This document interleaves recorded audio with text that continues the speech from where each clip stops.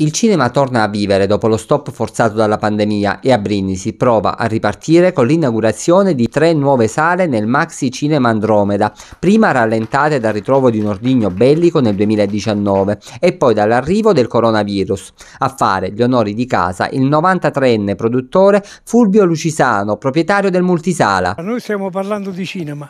Il fascino irresistibile di un film visto al cinema si spiega da quattro generazioni in tutta la sua magia.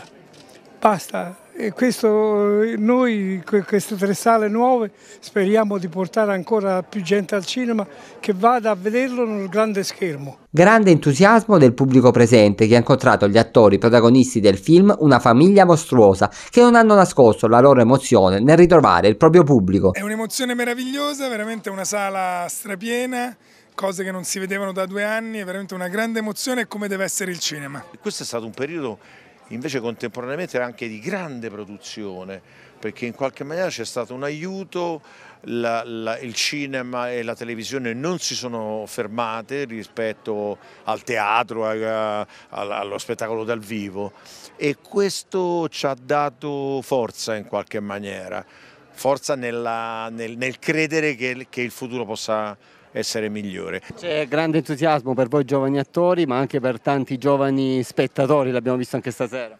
Sì, sì, io dico non mi sento nemmeno più giovane, però poi mi odiano quando invece dico ho 32 anni, medio giovane, però sì, infatti sono felice di vederli, li vedo da qua e speriamo piaccia, piacerà, piacerà.